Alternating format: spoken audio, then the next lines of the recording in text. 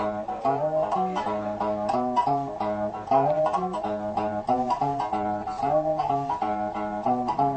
Uh, mic check one two one two. You know how it goes. One one two one two. That was the zip code. December 27 was the birth of Konata, the Met fan, born in the home of the Dodgers. D Strawberry was the man as a toddler from Brooklyn, Crooklyn. Look, Holmes, I'm from the era where that new era you wearing that woulda got took home. 718 was the code of them hoodlums. Seventh floor, 2739 Neptune. First hallway that I would ever lay steps to, where I resided back when the whole small fam was united. We started out with four, but then he divided. Daddy left the three of us. He started wildin', left us stranded off in Coney Island, home of the cyclone. Jesus, Shuttlesworth, I'm going psycho. A boy on a high rise, looking for his idol, a three year old, throwing tantrums for a nightclub. Where you at? Where they do that at? Where do I go? Move down to Bed-Stuy, 361 Green Ave was the next stop. Never had a rest stop. Mama working two of them, neither one was a desk job. This is how it is when you grew up how I did. Thank God that I follow him, now I done learn how to live.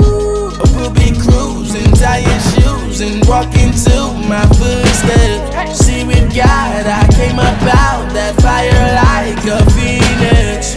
Cause I'm looking fly now, Ooh, feeling fine now. I don't mind when I step out of my line.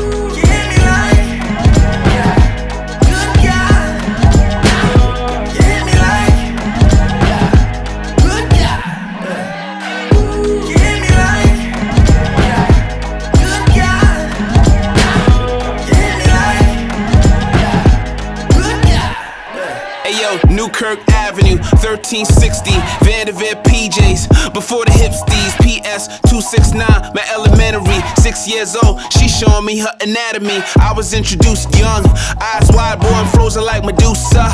But this would just become another thing I'm used to. Grew up quick, that's in the grave that I grew up with. And this was pre Flatbush Garden when crack was thriving and blacks was robbing, other blacks is starving. That was the era of my side of America, Brooklyn in the 90s. Yup, it was a terror cell.